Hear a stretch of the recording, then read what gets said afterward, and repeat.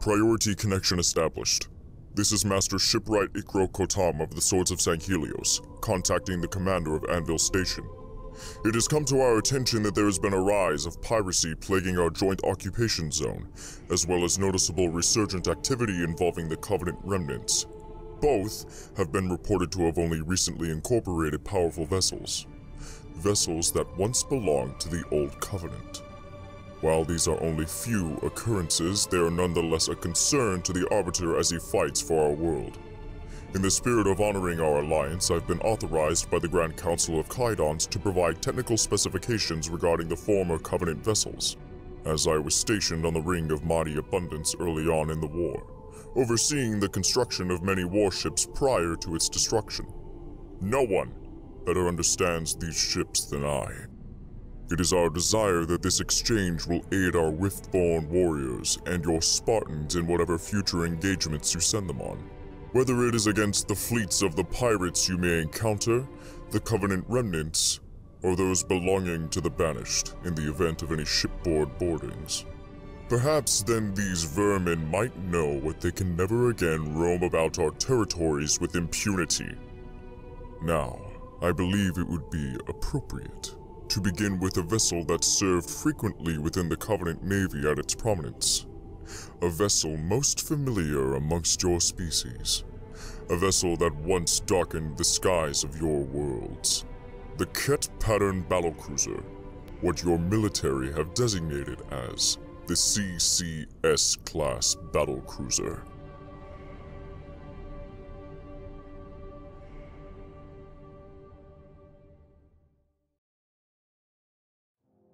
Crafted during the Seventh Age of Reclamation, the Ket Pattern Battlecruiser became a workhorse design that once served in a wide variety of functions for the Covenant fleets. Quickly supplanting the aging Morgan Pattern armored cruisers, these ships were produced in mass quantities throughout the Covenant Empire. From the Anra shipyards in the Urs system, to the assembly forges of High Charity, the Kets were well known for their robust litany of patterns which saw regular modifications alongside that of their sister ship, the Elfin Pattern Battlecruiser. Although Ket and elephant patterns dominated all other battlecruiser designs, they had also deeply influenced other cruisers, like those of the weaker Xanar pattern. In their time of service, they played in many key functions for the naval forces of the Covenant. Their offensive and defensive capabilities combined with a large troop and equipment complements made them quite ideal for the deployment of ground forces during planetary campaigns, or serving as middleweight combatants in conjunction of other Covenant ships in space warfare.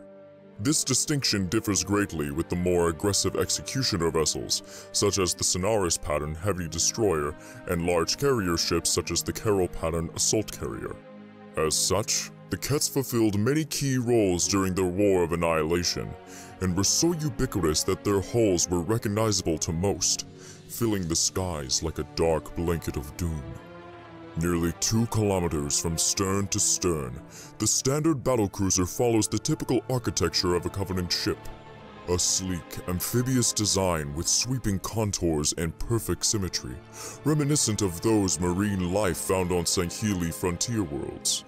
With a length of 1,782 meters, a width of 862 meters, and a mass of 90.7 million metric tons. The Ket pattern battlecruiser dwarfs most human vessels and are capable of laying them low without any support. Within the ship, various bays consist of engineering, medical, armory, barracks, and religious facilities, all compartmentalized and interconnected by a network of narrow corridors and shifts. Buried deep within the vessel's heart is the command deck, a large room with a centralized bridge platform, occupied mostly by its highest ranking officers, including the commanding shipmaster. At the very height of the Covenant Navy, the Ket patterns were typically crewed by eight superiors, two Huragok engineers, and 500 menials.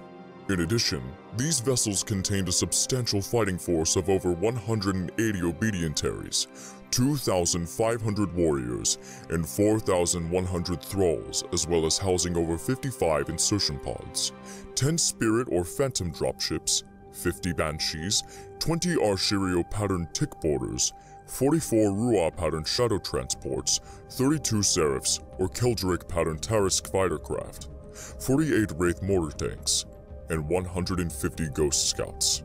Cruisers of this design are best recognizable for their distinctive fins, located on the underside of the ship's nose, which in fact operate as sensor arrays. The number of fins can differ between designs depending on the needs of its shipmaster, or even those of the fleet master himself. While specific pattern models can vary, battle cruisers of the Ket pattern typically follow a fairly consistent suit of armaments. The largest of the two-pinch fusion reactors is located in the ship's core to provide the power needed to operate its Perforal pattern excavation beam and Ignis pattern plasma lance.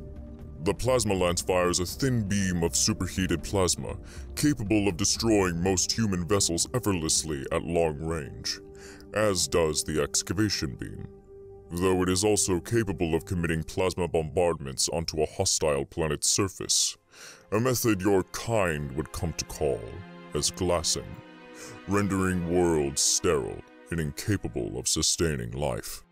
The pinch reactor is also capable of igniting its Serpent's pattern plasma torpedoes.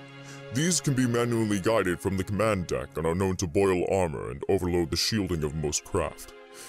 Indeed, they were utilized in most first strike operations throughout the war, launched by Covenant war fleets when engaging enemy battle groups at long range.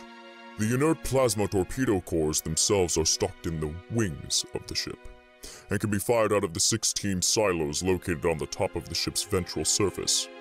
50 Gon pattern pulse laser turrets are equipped on the ship for defensive purposes, they are typically utilized in point defense roles against enemy strike craft and inbound projectile weaponry such as your primitive missiles. However, they can be used in limited anti-ship operations should the need arise, or if the vessel's shipmaster is daring enough to perform such a feat. Being technologically superior to those of humankind, the engines and slipstream drives of Covenant vessels are matched accordingly with their armaments, Ket patterns are run by two Gaeblean pattern repulsor engines, along with the Ophon pattern borer slipstream core, making this battlecruiser pattern a fast and versatile warship in both combat and pursuit operations. These battlecruisers are outfitted with the Corvex pattern dispersal field generator, which provides the ship with energy shielding defenses. The hull is formed of layers of shield-reinforced nanolaminate plating, capable of withstanding the force of nuclear weaponry or even the MAC cannons of your vessels. Along its undercarriage are four hangar bays off a large circular platform which can be detached and lowered onto a planet's surface. The ship then generates a vertical gravity beam between the ground and the vessel for surface-to-air conveyance of infantry, supplies, and assets. When attached to the ship, its central gravity platform doubles as the firing port for the excavation beam, so that it may cleanse a surrounding area leaving all in its wake naught but ash and glass. Even before the war began nearly 30 cycles ago, the Kets were in service to the Covenant for centuries, becoming the cornerstone of naval superiority. Since the very beginning, the Covenant's primary mode of intergalactic transportation had always been battlecruisers such as these. Unlike most other Covenant vessels, the battlecruiser served in the role of a fully weaponized warship, with the ability to apply meaningful military deployments. Throughout the war, the battlecruiser had repeatedly proven to be a stalwart and vital element of the Covenant war effort, having given the hegemony of numeric, strategic, and technological advantage. From the fall of Harvest to the Battle of the First Sacred Ring, the Kets had been tested in the crucible of war and emerged victorious at nearly every turn. Yet, as the Ninth Age of Reclamation neared its end, these ships turned on one another as the Great Schism broke out in the shadow of Delta Halo. While your kind will always associate this battlecruiser with horror and dread, it was our fleet of retribution, an armada of eight battlecruisers under the command of Rtas Vadum and the Arbiter, that ultimately halted the Covenant's swath of devastation and ended the war high above the skies of the Forerunner Ark. With the fall of the Covenant, many of the Ket patterns have fallen under the control of hundreds of warlords, eager to seize what's left of our glorious empire. Yet now, they are but shadows of their former glory. Where hundreds once roamed their hallowed corridors, only skeleton crews remain. And without the assistance of the Huragok in the wake of their disappearance, many have fallen into disrepair and ultimately abandoned. But perhaps the most intriguing ship of this class was a battlecruiser known as the Pious Inquisitor. Violently taken by the Jiralhanae at the outbreak of the Great Schism, this warship was eventually lost to the Sangheili of the Fleet of Retribution and was later sent back to Sanghelios to silence those who remained loyal to the Prophets. After the initial conflicts had subsided, the Inquisitor was once again stolen, this time by a cultist group known as the Servants of the Abiding Truth, in a vain attempt to gather strength in order to subvert the Arbiter and the Swords of Sanghelios. However, when it was entrusted to a Kig-Yar crew, it did not take long for it to be sold to the highest bidder, this time to a band of human rebels, who were determined to use the ship against your cradle world, Earth. During a fight to seize the vessel between Kig-Yar and humans, their ship mistress set an Inquisitor's plasma torpedoes to self-destruct, an act which ultimately destroyed the vessel.